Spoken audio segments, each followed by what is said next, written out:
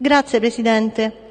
E, questa mozione noi la bocceremo e la bocceremo perché è una mozione pretestuosa ed è una mozione inutile.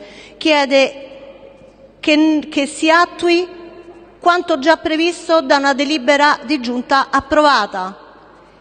Nella Commissione Politiche Sociali dell'altro ieri abbiamo appurato con gli uffici dell'ufficio di scopo eh, Rom Sinti e Camminanti che il bando per la chiusura di Castel Romano eh, è stato aggiudicato il 21 gennaio e che il superamento del campo è previsto per novembre del 2021. Si chiede con questa mozione di accelerare i tempi, perché l'importante è chiudere, chiudere il prima possibile e togliere il problema. Allora questo problema non l'abbiamo creato noi, in questo caso specifico non è stata la destra ad aprirlo, ma è stata anche la destra a mantenerlo, la stessa destra che adesso ci chiede di chiuderlo perché purtroppo crea degli inconvenienti. Se invece quando governavano loro avessero pensato a un piano di integrazione di chiusura dei campi, ad oggi questi problemi non ci sarebbero, così come non ci sarebbe il problema che quella è una riserva naturale.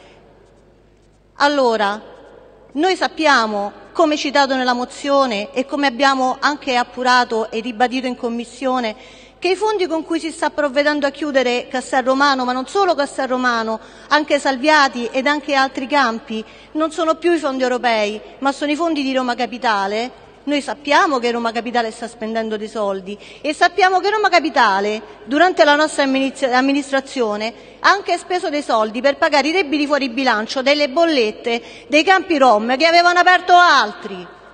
E non è stato fatto niente altro che mantenere quello stato, quello status di vita che non è una vita dignitosa. Allora noi vogliamo fare un'altra cosa e lo abbiamo dichiarato con le nostre delibere sulla chiusura dei campi. Abbiamo avuto il coraggio di dire le motivazioni anche umanitarie per cui vogliamo fare questo, non solo economiche, ma soprattutto umanitarie e soprattutto per la dignità delle persone.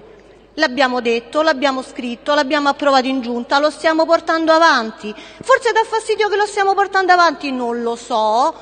Non è compito mio accertare questo. Certo che la campagna elettorale è cominciata proprio bene, eh, è cominciata proprio presto e vedo che si specula su, anche sui risultati che stiamo ottenendo.